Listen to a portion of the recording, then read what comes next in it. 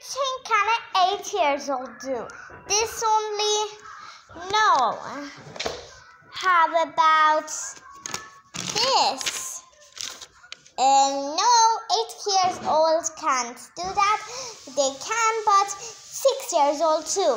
Or something just a bit more like this.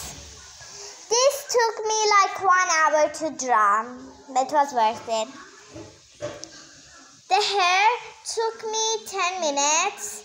The curtain, the, the outside of here took me 30 minutes, I think. And then the full, the all um, clothes, the um, curtains, and the ground took me um, 10 minutes I don't know how much.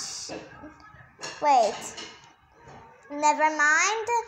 But this is how the results became when I finished it. It took me a long time. So good. Bye.